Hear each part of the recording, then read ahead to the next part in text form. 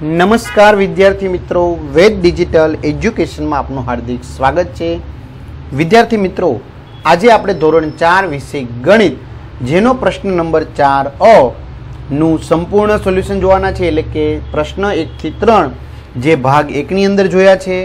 જે તમે ન જોયા હોય તો ચેનલના પ્લેલિસ્ટમાં જશો, ત્યાંથી તમને મળી જશે.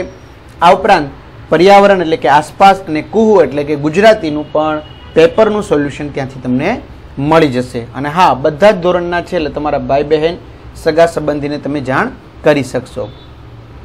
છે લંબચોરસના ચાર જુદી જુદી રીતે ચાર સરખા ભાગ કરો. હવે લંબચોરસના ચાર તમારે જુદી જુદી રીતે ચાર સરખા ભાગ કરવાના છે. તો એમાં તો પહેલો ભાગ તો તમને બહુ સરસ રીતે આવડે છે કે બેની મધ્યમાં બે સરખા ભાગ પડે એવી રીતે ભાગ પાડી દઈએ તો કેટલા ભાગ પડી ગયા? ચાર ભાગ. બીજા કેવી રીતે પાડીશું? તો બીજા આ રીતે વચ્ચોવચ્ચ પહેલાં બે ભાગ પાડી દઈશું, પછી બે બાજુ વચ્ચે એક એક લીટી દોરીશું. તો પણ આ ચારેય ભાગ કેવા થઈ ગયા? સરખા થઈ ગયા. ત્રીજું કેવી રીતે કરીશું? તો જો વચ્ચોવચ્ચ પહેલાં બે એક લીટી દોરી દઈશું, તો કે હા. બરાબર? પછી એની અંદર બે પાછા ભાગ પાડી દઈશું. ચાર ભાગ થઈ ગયા, તો કે હા. ચાલો. હવે ચોથો ભાગ છે એ કેવી રીતે પડે છે? તો જો ઘણા વિદ્યાર્થી મિત્રો આવી રીતે આમ ક્રોસ લાઈન દોરે છે. તો આ ક્રોસ લાઈન દોરવાથી એટલે કે વિકર્ણ દોરવાથી ચાર ભાગ સરખા થશે નહીં. તો હવે આ ચોથો ભાગ કેવી રીતે થશે એ તમારે જાતે પ્રયત્ન કરીને કમેન્ટ કરવાની રહેશે. બરાબર? હવે તમારા ઉપર મેં છોડ્યું છે. એટલે આ રીત તો નહીં જ આવે. હા, ઘણા આ કરશે એટલે મેં અગાઉથી કહી દીધું તમને. ચાર બ નીચેના કોષ્ટકમાં આપેલી વિગતને આધારે પ્રશ્નોના જવાબ આપો.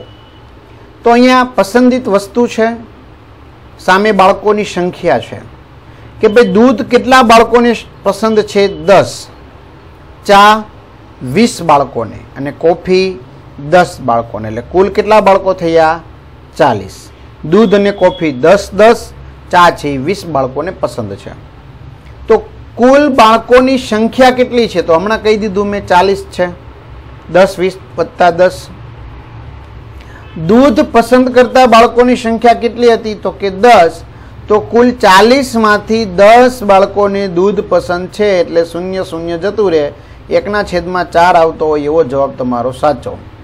તો જવાબ શું આવ્યો? બ, એકના છેદમાં ચાર. ચા પસંદ કરતા બાળકોની સંખ્યા કેટલી? તો ચાલીસમાંથી વીસ બાળકોને ચા પસંદ, શૂન્ય શૂન્ય, બે દુ ચાર, એટલે કાંઈ ન વધ્યો એટલે ઉપર એક તો વધે જ, એકના છેદમાં બે. એટલે એક દ્વિતીયાંશ છે ક્યાંય? તો કે હા, એક દ્વિતીયાંશ છે. રેડી તો આ રીતે જવાબ મિત્રો મેળવી શકાય છે. હવે શું કે છે? કોષ્ટકની વિગતને આધારે વર્તુળ આલેખ બનાવો. હવે તમારે આવી રીતે સરસ મજાનું એક વર્તુળ દોરવાનું. પછી એનો આલેખ આવી રીતે બનાવવાનો કે ભાઈ વીસ બાળકોને શું પસંદ છે? ચા. એટલે અડધા બાળકો થઈ ગયા. બીજા વીસ બાળકોમાં શું આવશે? દૂધ અને કોફી. તો એમાંથી દસ બાળકોને દૂધ પસંદ છે દસ બાળકોને કોફી છે એ પસંદ છે. એટલે આ રીતનો તમારો ગ્રાફ આખો મિત્રો તૈયાર થશે. ક પેટર્ન પૂર્ણ કરો. તો તમારે અહીંયા પેટર્ન છે એ પૂરી કરવાની છે.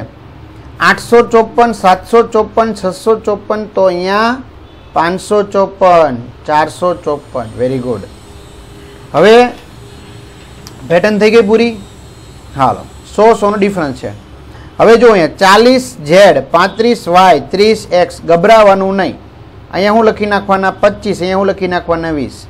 થઈ ગયું? ચાલીસ, પાંત્રીસ, ત્રીસ, પચીસ, વીસ. પાંચ પાંચ ઓછા છે. હવે જો અહીંયા એબીસીડીમાં આગળનો અક્ષર લખવાનો ઝેડની આગળ વાય વાયની આગળ એક્સ એક્સની આગળ શું આવશે? ડબલ્યુ બરાબર? પછી એની આગળ શું આવશે? હં. V S T U V W okay તો આ રીતે તમે જવાબ લખી શકો છો. હજી આગળ કરવાનું થાય તો પંદર યુ એમ. પ્રશ્ન પાંચ, નીચેની આપેલી આકૃતિઓની પરિમિતિ શોધો. પરિમિતિ એટલે તમામ બાજુઓનો સરવાળો.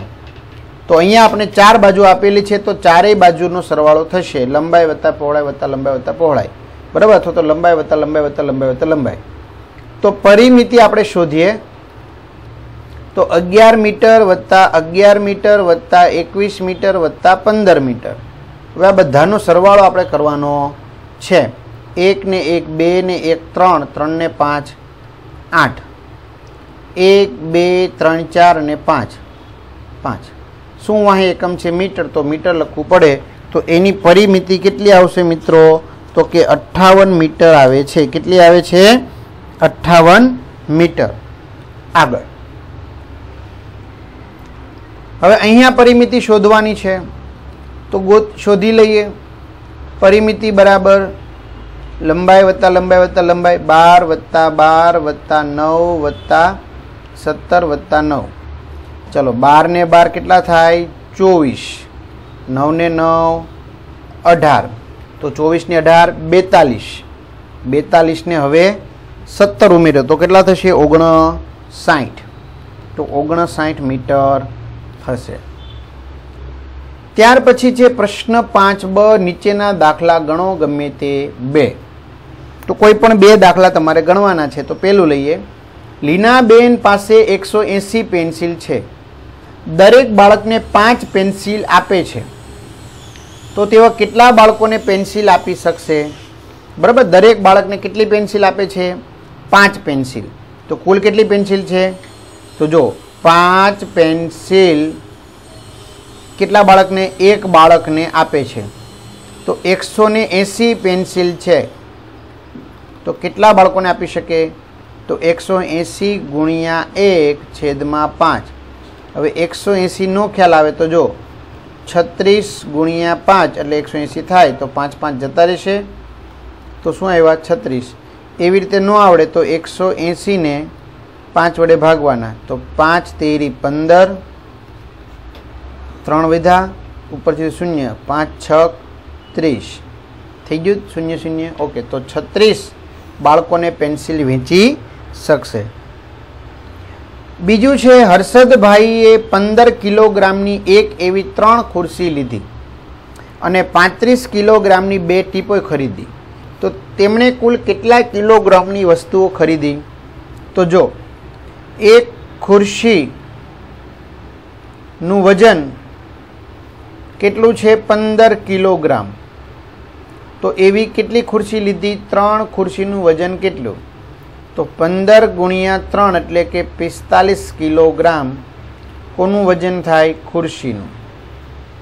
હવે એક ટીપોયનું વજન પાંત્રીસ કિલોગ્રામ. તો એવી બે ટીપોયનું વજન કેટલું? તો પાંત્રીસ ગુણ્યા બે એટલે કેટલા થશે? સિત્તેર કિલોગ્રામ. હવે કુલ વજનની વાત છે, તો કુલ વજન પિસ્તાલીસ કિલોગ્રામ ખુરશી અને સિત્તેર કિલોગ્રામ ટીપાય તો સિત્તેર ને પિસ્તાલીસ કેટલા થશે? એકસો ને પંદર કિલોગ્રામ કુલ વજન થશે. ખ્યાલ આવ્યો? ત્રીજું અને છેલ્લું, એક ટેબલનું વજન પચીસ કિલોગ્રામ હોય, તો આવા છ ટેબલનું વજન શોધો. તો એક ટેબલનું વજન કેટલું છે ભાઈ? પચીસ કિલોગ્રામ. તો છ ટેબલનું વજન કેટલું થાય? પચીસ ગુણ્યા છ એટલે કે એકસો પચાસ કિલોગ્રામ થાય. તો મિત્રો, અહીંયા આપણે સરસ મજાનું ગણિતના પેપરનું સોલ્યુશન જોયું. એના વીડિયો તમે ચેનલના પ્લેલિસ્ટમાં જઈને જોઈ શકશો. તો અહીંયા સુધી રાખીએ. અસ્તુ, જય હિન્દ, જય ભારત.